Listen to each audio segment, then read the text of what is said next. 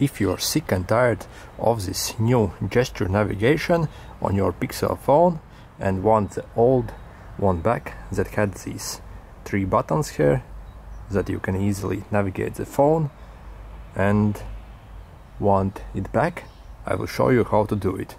This process will work on the Pixel 6 Pixel 6a I have here and also the new Pixel 7 the process is exactly the same okay so in order to get these three buttons back all you have to do is go to your settings and find at the very end where it says system.